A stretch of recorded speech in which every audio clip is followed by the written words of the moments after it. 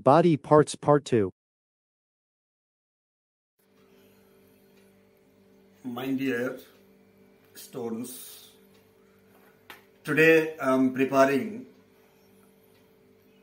on body parts, parts 2. And in parts 1, I have already mentioned the parts of the body that have on face and heads like eye, eyelash, eyelids, eye ducts, eardrum, cheek, um, lips, tongue, etc. Why I am preparing this video? In that video, I have already mentioned that uh, words are the building blocks of language, and language is your identity. As you know, if a language is sweet and meaningful, you have a good recognition in the society. That is why many scholars have opined that every student or every learner should have a mastery on vocabulary. I have already mentioned that uh, in order to know uh, a high frequency word one needs 50 to 60 seconds to remember and after that he has to practice it for three to four times. He has to write three or four times. In this parts 2 video, I have mentioned other parts of the body.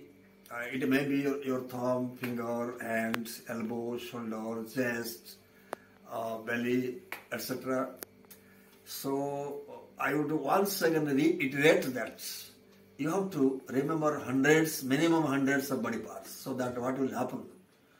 You will have a powerful vocabulary and you have success.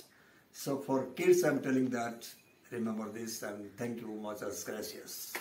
Adam's apple. Neck. Shoulder. Chest. Nipple.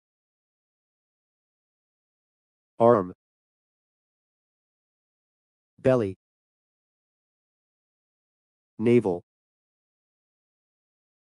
Waist. Stomach. Hand. Wrist. Elbow. Nail. Palm. Fingers. Thumb. Index finger. Middle finger. Ring finger. Little finger. Leg. Thigh. Knee. Calf. Ankle. Heel. Toe. Foot.